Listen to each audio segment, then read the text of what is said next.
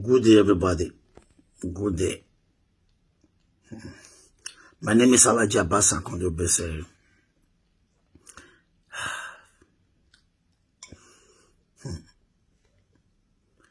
This is very sad. I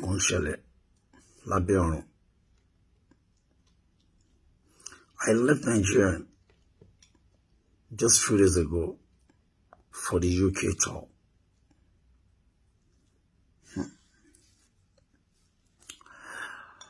I heard about it. Death of our lovely son, Sylvester Romani. Hmm. Ọ̀gá, nǹkan ṣẹlẹ̀ o. Hmm.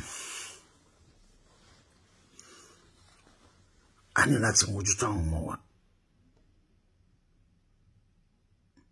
Our children need more attentions they need more focus because they are the future I'm going to lọ́jọ́ iwájú wa. Hmm. What just happened now?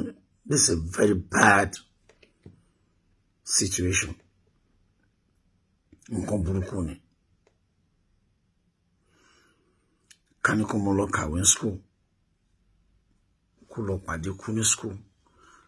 Ká ní kó mo lọ kàwé school kó máa ronú bóun ṣe fẹ́ pa ọmọ táwọn jọ àwọn táwọn jọ wà ní kíláàsì àbí táwọn jọ wà ní skul àwọn kéékèèké for that matter hmm? position wo la fẹ́ káwọn òbí Sylvester Oromoni wà nísìn báyìí position wo la fẹ́ kó wà àyẹ̀wò àròpọ̀ lè wà nísìn báyìí.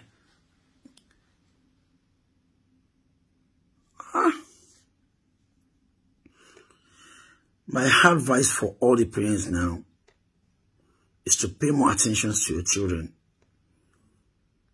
Pay more attention because charity begins at home. When you pay more attention to your children, there's no way we know what they can do or what they cannot. abẹ́ ribain báyìí ni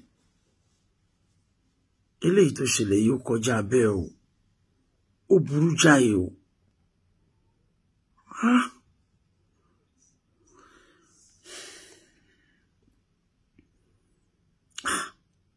àwọn ọ̀la wa hmm.